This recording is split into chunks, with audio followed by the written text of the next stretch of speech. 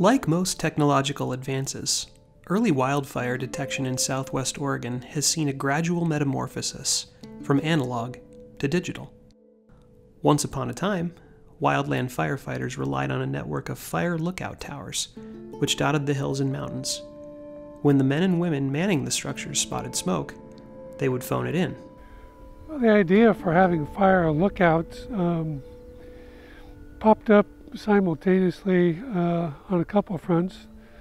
Uh, as logging started to become a meaningful industry in the latter part of the 19th century, uh, the private in industry owners of timberland really wanted to have a better weapon against fires, which helps to be able to detect them early. So they supported building some lookouts on some high points. The U.S. Forest Service and the Oregon Department of Forestry uh, both got going around the same period of time, and they uh, had a lot of interest as well in getting up um, mountaintop lookouts so people could more quickly see and report fires.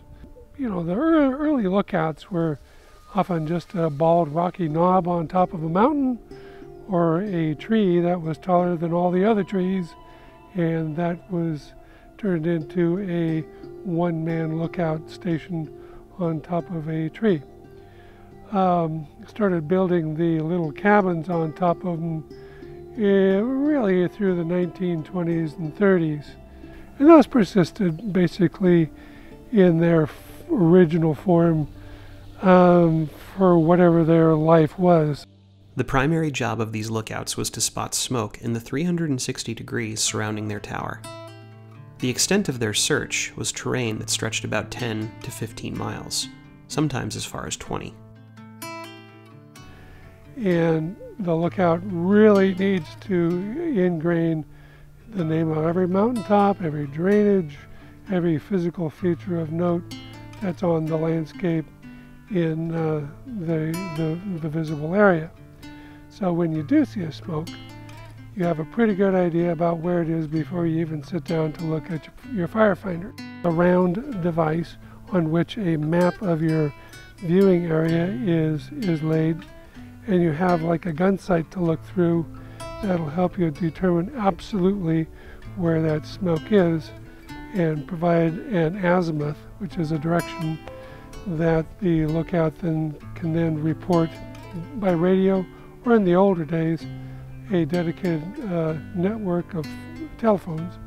Prospect residents Steve and Janna Little both have deep connections to several area lookouts, with work that ranged from staffing the structures to crucial maintenance and upkeep. I did the three lookouts on Prospect District. I drove up there and back every day because I took my two sons with me and so we would get up there probably, I'm going to say 9 o'clock. We couldn't leave until 6 o'clock unless there was a lightning storm and, and to watch for fires, and then we would all stay there. Every day, the daily job was you were asked to scan every 15 minutes to see if anything changed. And then we also had uh, I was asked to be a relay for different crews on the ground out in the forest because the radio transmitters weren't that great. So every once in a while someone would ask me to repeat a message from one drainage to the other. Every day in the mid-afternoon, we had a weather station that you did the temperature and the humidity I was just, uh, well, I always was aware of fire activities because of the history of my dad and my husband. And it just seemed like a natural thing. At some point, I was hiring the lookouts. And so part of my job was to hire the lookouts and get them trained, do the lookout maintenance. There's a lot of maintenance up there washing windows. You don't touch your lookouts windows. They're the eyes to the world, so you don't mess with that. And uh, you know, making sure that the grounding system was still intact. And filled the shower. The shower was a, on Hall's Point was a big bag, 150, 200 gallon, we put it up on top of the lookout and fill it. Use of traditional lookouts has declined over the past several decades. As time went by and aerial uh, reconnaissance became more commonly used after, say, a thunderstorm, then those started to really quickly supplant the need for a lot of um, fully staffed lookout towers. Lookouts, um, they need a lot of care.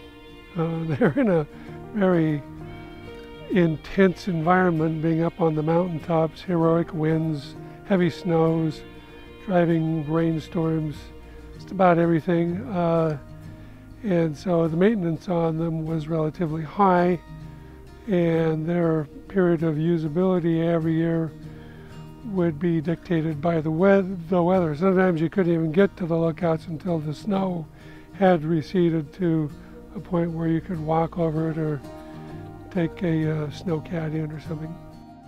The same basic premise of tracking exists today, but with a 21st century twist. In 2006, that really started shifting to our detection system. Uh, we started putting in cameras, sometimes at those lookouts, sometimes on just higher mountaintops um, to replace those. And what we found is it's actually much more effective to have the cameras. It's a little bit more cost effective as well. Um, and it's something that really helps us uh, not only detect fires first off before anyone can report them, but also confirm information for our firefighters and our partner agencies who are responding to those incidents. We have 15 different camera sites and two cameras at each site, so 30 cameras across the district. And what it does is it allows us to see those areas and monitor um, all those areas that it covers for fires. Uh, we have detection specialists who man that room.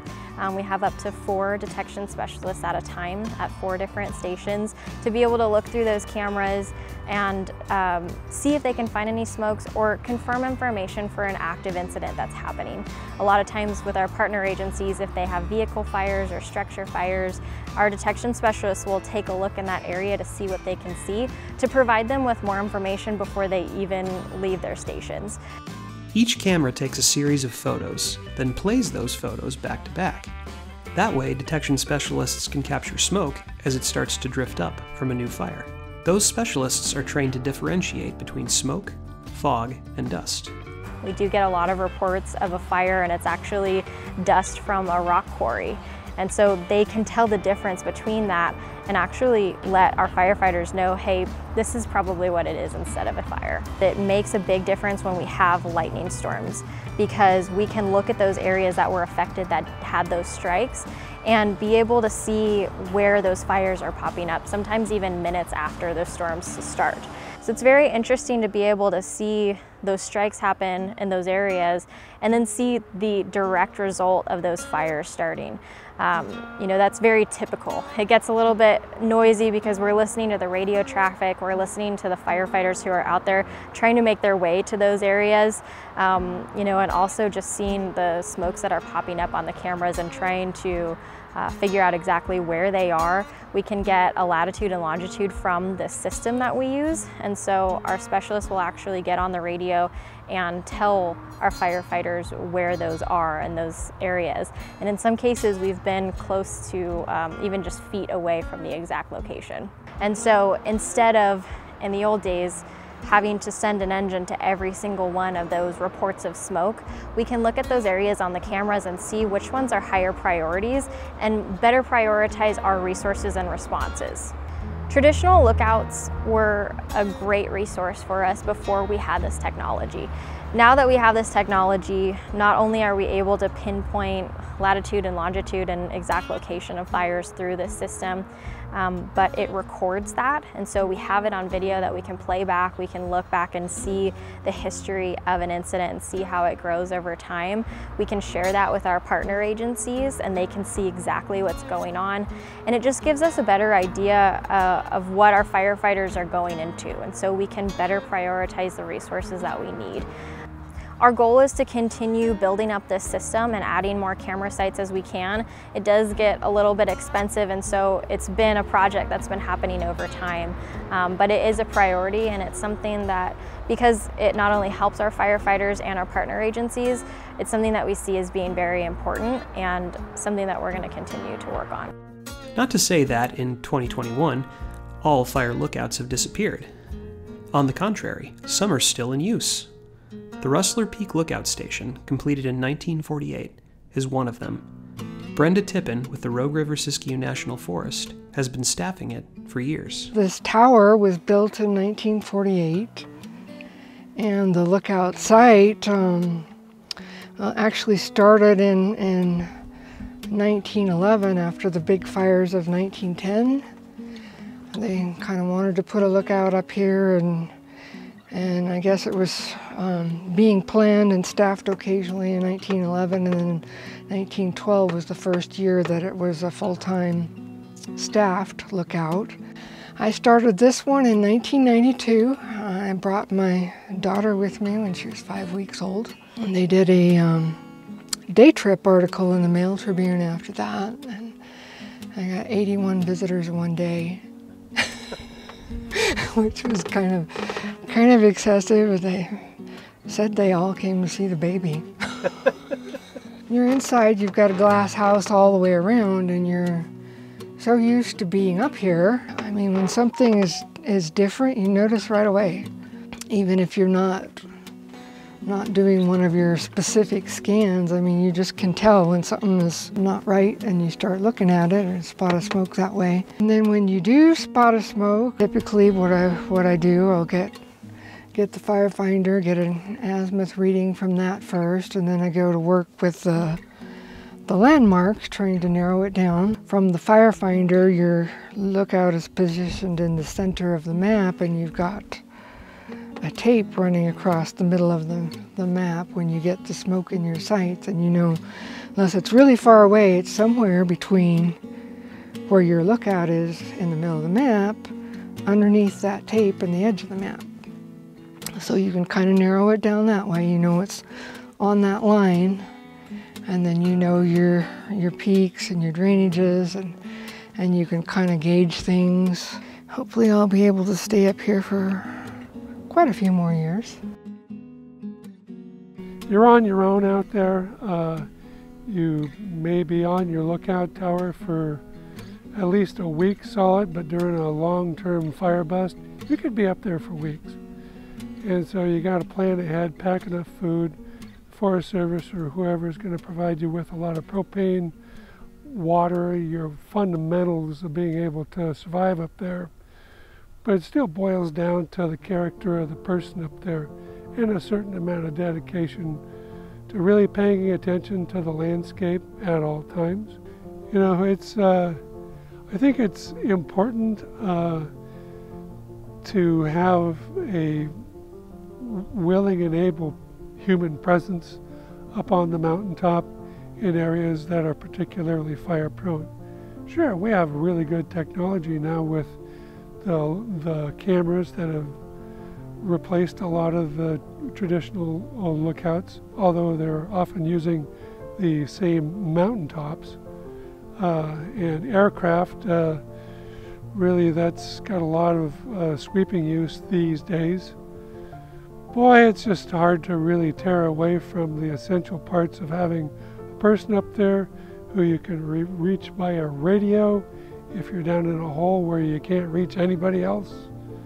And just have somebody else really looking out and seeing most likely something that no one else sees.